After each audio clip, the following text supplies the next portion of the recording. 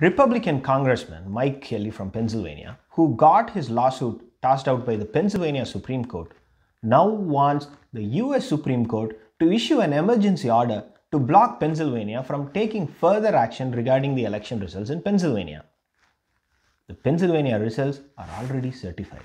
And so Mr. Kelly is now asking this US Supreme Court to nullify the governor's certification and stop the state from taking any action that will confirm Biden's victory, meaning not to allow the electors to vote during the Electoral College meeting.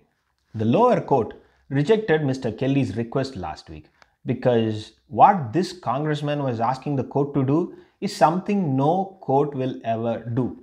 Mike Kelly claimed that the Pennsylvania legislature violated the Constitution when it allowed no excuse absentee voting in this year's election.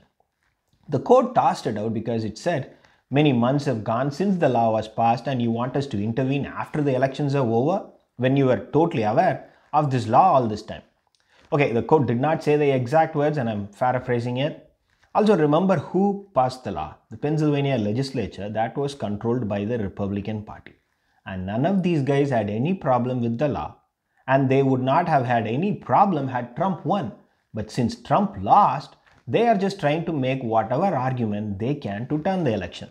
Ask any legal expert, he will tell you the Supreme Court will keep itself as far as they can when it comes to state legislations. And they go even further away if a state court has already made a decision siding with the legislature.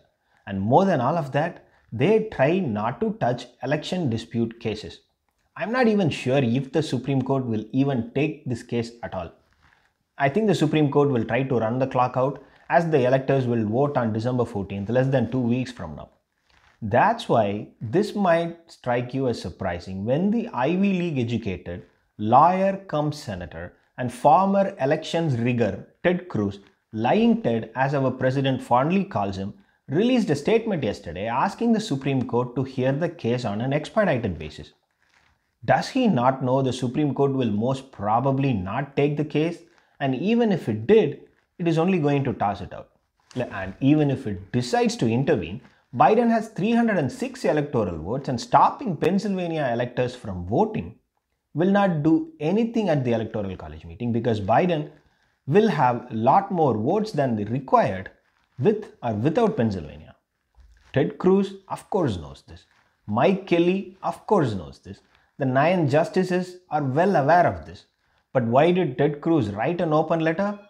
Well, do you really think the open letter was written for the Supreme Court justices to read as if they don't have something better to do?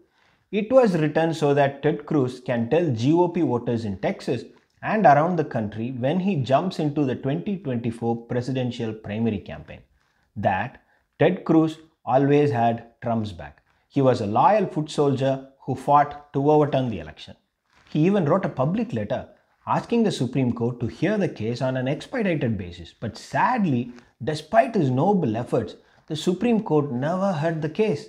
Hmm, not bad at all to win the primary, but an excellent ad to lose the general. Way to go, Republicans. I can see the 2024 Democratic campaign strategy playbook writing its headlines on its own. Thanks for watching. If you like, please subscribe.